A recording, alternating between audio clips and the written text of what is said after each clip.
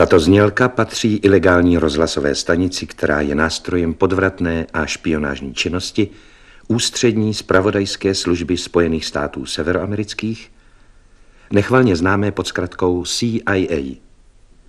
Ano, jde o štvavou vysílačku Radio Svobodná Evropa. Now talking about uh, Radio Free Europe and that, it's a tool of the CIA and bla bla bla. Můžeš nám říct, kdy, kdy jsi tam s nima hrál a co jsi tam dělal? Já jsem, byl jsem u vzniku v roce 71, 72 a pomáhal jsem s různýma věcma, hrál jsem několik tónů na basu, tři, tři tóny na basu, eh, na hřeben, na psací stroj, na takové blbosti a zkrátka bylo to něco mezi happeningem, trochu protestem, spíš jsme se bavili.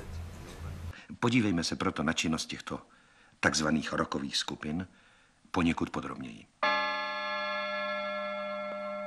Byla jsem zejména překvapena nehudebními rekvizitami, železnými tyčemi, diskem od auta a podobně.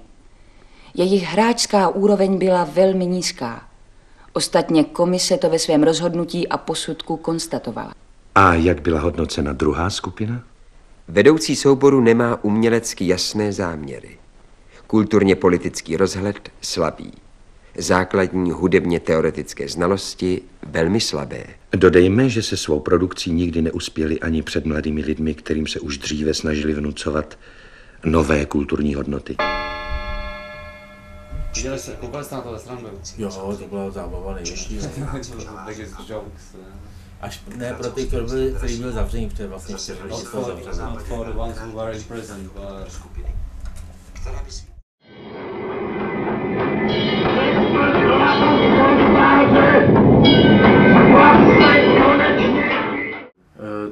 Tak setkal jsem se v tom, když jsem vlastně byl malý a dospíval jsem eh, na okraji Prahy a poslouchal jsem rádio.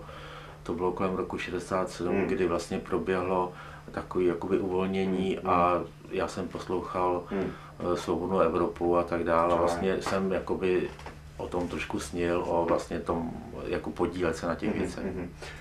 Takže to bylo první setkání jako s hudbou. Mm. So that was his first encounter Druhý, music. druhý vlastně setkání bylo, že jsem jako z toho okraje Prahy jel do centra, když mě bylo 14 nebo kolik a chtěl jsem si koupit desku Dylena a spletl jsem se a koupil jsem si Donovena Okay, okay. a od té doby vlastně pro mě Dylan skončil a Donovan vlastně Uh, well, uh, now I'm 56, and I start when I rock music. I start when I was like 13, I think.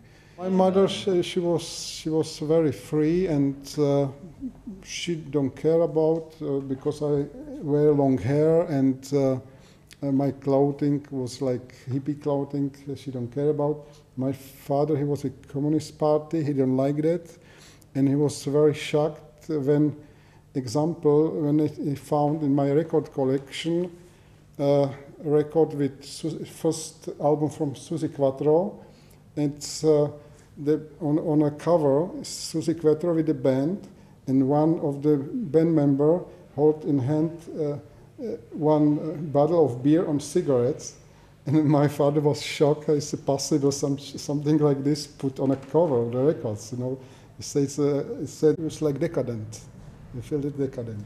So, can you tell me what the Czech music scene was like in the 70s? Were you, were you listening to the underground Czech rock then? Well, 70s was different. You know, I s- uh, was 60s. Was uh, it's um, there were so many good bands uh, like uh, they start. Uh, 1964, 65, beat groups, primitives groups, Undertakers, Rebels, Framus Five. There was the best bands.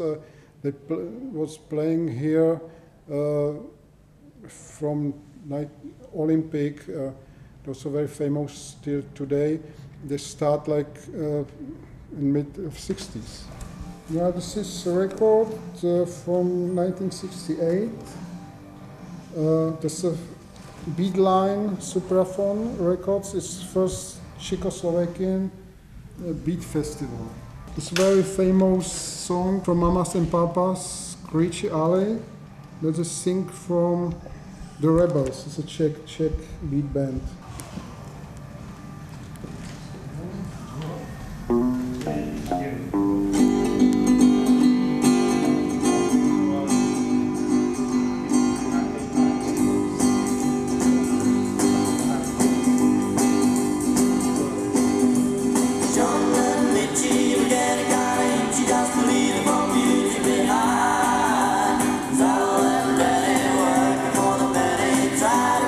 fish on the line.